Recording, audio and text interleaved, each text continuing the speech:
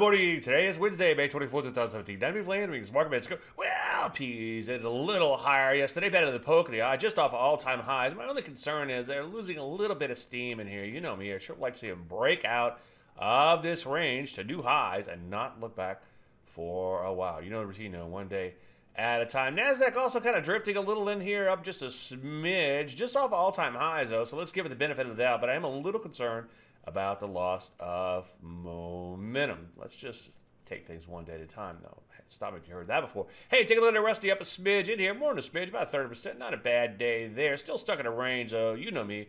Again, I sure would like to see break out of range and not look back. Some areas are losing a little bit of momentum in here, like material construction. As you can see, a little sideways at best as of late. Most areas still look okay, though. But again, I'm a little concerned about the loss of momentum. But for now, I still think the uptrend remains intact. Any questions? As usual, Dave at DaveLandry.com. I'm Dave Landry, you started Market Minute.